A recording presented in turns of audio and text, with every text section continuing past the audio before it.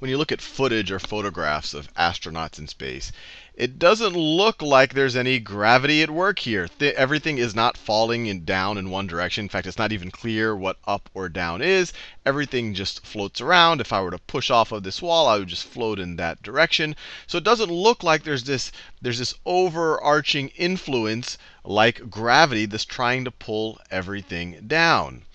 But the question is is that these astronauts are still not too far away from a super massive body. In fact, the space shuttle space shuttle gets up a couple, only a couple of hundred miles above the surface of the Earth. So the space shuttle, if I were to draw it to scale, would probably be right about there. And we know we know that the force of gravity between two objects is equal to big G, the gravitational constant, times the mass of the first object times the mass of the second object over the distance between the two objects squared. And if the space shuttle is right here, only a few hundred miles above the surface of the Earth, this r isn't that different. It's a little bit it's a little bit further than if you were at the surface of the Earth. Remember that r is measured from wherever you are to the center from the center of the earth, or really the center of the object to the center of the earth. The center of the, the, the earth represents most of the distance here. So if I'm at the surface of the earth, or if I'm just a few hundred miles above the surface of the earth, it's not going to change r that dramatically, especially in, in terms of percentage.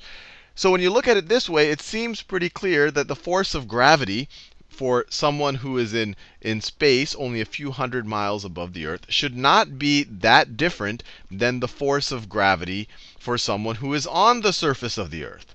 So my question to you is what gives? If there should be gravity in space, how come we see all of these pictures of people floating around like this? And the answer is is that there is gravity in space and that these people actually are falling. They're just moving fast enough relative to the earth that they keep missing it. And let me show you what I'm talking about there. So if I were to take a if I were to if I were to let's say I'm sitting here in Africa and I were to shoot something, if, or maybe I have a really good slingshot, and I were to sling something super fast at maybe a 45 degree angle, it might take off a little bit, and then eventually hit another point. And this would actually already be a super duper slingshot. I just made it travel a couple of thousand miles, or at least over a thousand miles. If I make it go a little bit faster, if I put a little bit more force on, if I just propel the, the projectile a little bit faster, I'll, it might go a little bit further, but it'll eventually fall back to the earth. Let's try to propel it a little bit faster than that. Then it'll still fall to the earth. Let's propel it even faster than that. Well, then it's still eventually going to fall to the earth. I think you might see where this is going. Let's go even faster than that. So if we go even faster than that, eventually it'll fall to the earth. Even faster than that. So if you if you were to throw an object even faster than that, it would then go really far and then fall to the earth. But I think you see what's happening. Every time you go faster and faster, you you throw this projectile faster and faster, it gets further and further up to some some velocity that you release this projectile. And every time and whenever it's trying to fall to the earth, it's going so fast that it keeps missing the earth. So it'll keep going round and round and round the earth. And a projectile like that would essentially be in orbit. So what's happening is if there was no gravity for that projectile, if there was no gravity, the projectile would just would just go straight at go straight away into space. But because there's gravity, it's constantly pulling it towards the center of the Earth, or the center of that projectile and the center of the Earth are being pulled towards each other, I guess is a better way to think about it. The force of gravity is doing that.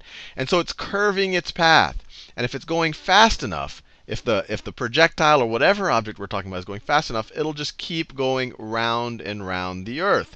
And since there is almost pretty much for, for most purposes no air at if you go high enough, especially the altitude that the space shuttle at, is, no noticeable drag, this thing can just keep on going for a substantial amount of time. Although there is just a little bit of drag, and that's why over time you do have satellites slow down because there is just a little bit of air resistance. So the answer to this conundrum is that there actually is gravity. It's not, it's not a gravity free environment. It's just that the astronauts and the space shuttle and everything else that's in the space shuttle, it's all falling, but it's moving fast enough that it never hits the Earth. It keeps missing the Earth. It keeps, it keeps going round and round and round, but it is completely under the influence of gravity. If they were to just slow themselves down, if they were to just brake relative to the Earth, and if they were to just you know, they put their, their brakes on right over there, they would all just plummet to the earth. So there's nothing special about going three or four hundred miles up into space that all of a sudden gravity disappears. The influence of gravity, actually, on some level, it just keeps going. You can't, it, it might become unnoticeably small at some point. But definitely, if you're only a couple of hundred miles up in the air, there is definitely gravity there. It's just they're in orbit. They're going fast enough. So if they just keep falling, they're never going to hit the Earth. And if you want to simulate gravity, and this is actually how NASA does simulate gravity, is that they will put people in a plane, and they call it the vomit rocket because it's known to make people sick. And they'll make them go in a projectile motion. So if this is the ground, in a projectile path, or in a parabolic path, I should say. So the plane will take off and it will it will do a it will do a path exactly the same as something in free fall or in a parabolic path. And so anyone who's sitting in that plane will experience free fall. So if you've ever been in, if you've ever, you know, right when you jump off of a, if you if you've ever bungee jumped or skydived, or um, even the the feeling when a roller coaster is going right over the top and it's just pulling you down and your stomach feels a little ill, that feeling of free fall, that's the exact same feeling that these astronauts feel because they're in a constant state of free fall. But that is an indistinguishable feeling from if you were just in deep space and you weren't anywhere close any noticeable uh, mass. That is the, that is an identical feeling that you would feel to having no gravi gravitational force around you. So hopefully that clarifies things a little bit. To someone who's just sitting in the space shuttle and if they, they had no windows, there's no way of them knowing whether they are close to a massive object and they're just in free fall around it, they're in orbit, or whether they're just completely far away from any massive object and they really are in a state of or in a place where there's very little gravity.